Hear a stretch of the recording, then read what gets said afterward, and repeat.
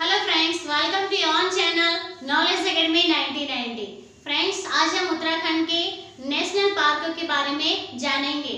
तो आइए स्टार्ट करते हैं पहला है कॉर्बेट नेशनल पार्क ठीक है कॉर्बेट नेशनल पार्क को पहले जिम कॉर्बेट पार्क कहा जाता था जब इसकी स्थापना हुई थी 1936 में तो इसका नाम था जिम कॉर्बेट पार्क लेकिन बाद में इसका नाम स्वतंत्रता के बाद इसका नाम रामगंगा नेशनल पार्क हो गया था 1950 1947 के बाद इसका रामगंगा नेशनल पार्क हो गया था।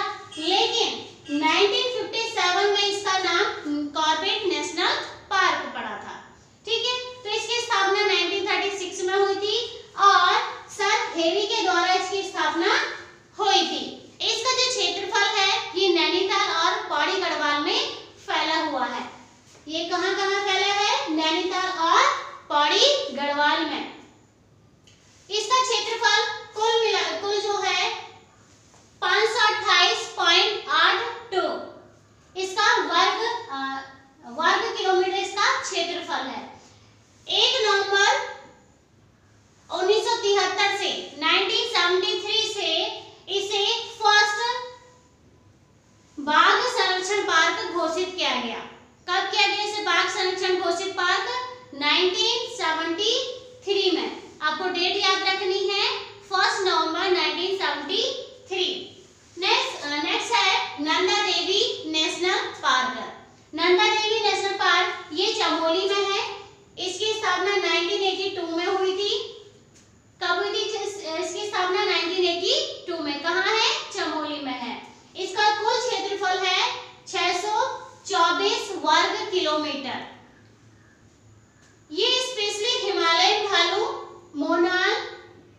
कस्तूरी मृग आदि पशु पक्षियों के लिए प्रसिद्ध है यहाँ पर वैसे तो विभिन्न प्रकार के पशु पक्षी पाए जाते हैं लेकिन खास तौर से ये हिमालयन भालू मोनाल और कस्तूरी मृग के लिए प्रसिद्ध है नेक्स्ट है फूलों की घाटी फूलों की घाटी नाम से ही अ, नाम से ही समझ में आ रहा है कि घाटी फूलों के लिए प्रसिद्ध है।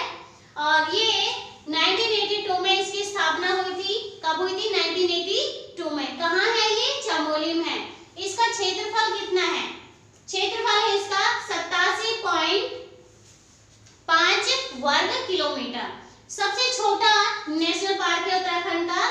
इसका कुल क्षेत्रफल है सत्तासी पॉइंट पाँच वर्ग किलोमीटर नेक्स्ट है राजा जी राष्ट्रीय park Raja ji national park ये है अ, देहरादून और हरिद्वार में कहाँ है देहरादून और हरिद्वार में इसका जो नाम राजा जी पड़ा है ये श्री राजगोपालाचारी के नाम पर पड़ा किसके नाम पर श्री राजगोपालाचारी के नाम पर इसका नाम राजा जी नेशनल पार्क पड़ा है।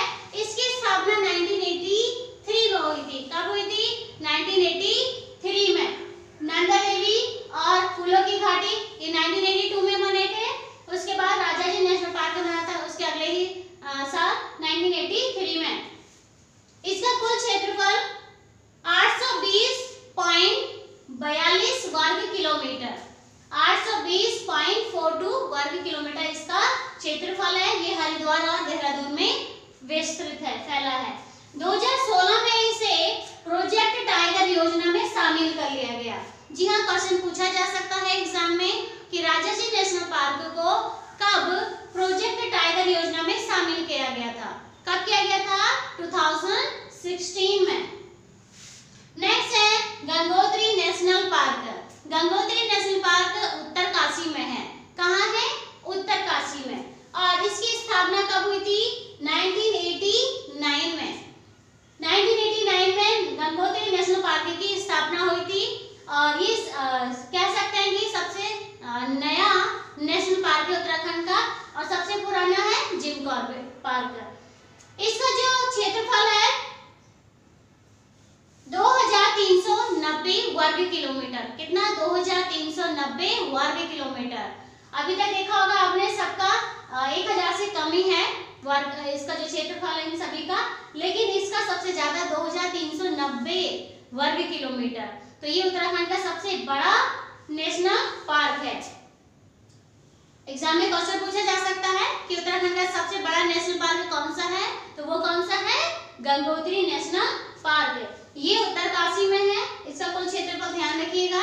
2390 वर्ग किलोमीटर इसका क्षेत्रफल है। ये स्पेशली हिमालयन भालू कस्तूरी मृग मोनाल टैगोपन इन आ, सभी जान पक्षी, पशु पक्षियों के लिए प्रसिद्ध है। वैसे तो वहाँ पर अन्य प्रकार के और भी वहाँ पशु पक्षी हैं, लेकिन स्पेशली ये हिमालयन भालू, कस्तूरी मृग और मोनाल के लिए प्रसिद्ध है। तो फ्रेंड्स आज हमने उत्तराखंड के नेशनल पार्कों के बारे में जाना। अगर आपको ये वीडियो अच्छा लगे तो इसे लाइक करें शेयर करें, और हाँ चैनल को सब्सक्राइब करना ना भूलें। Thank you take care bye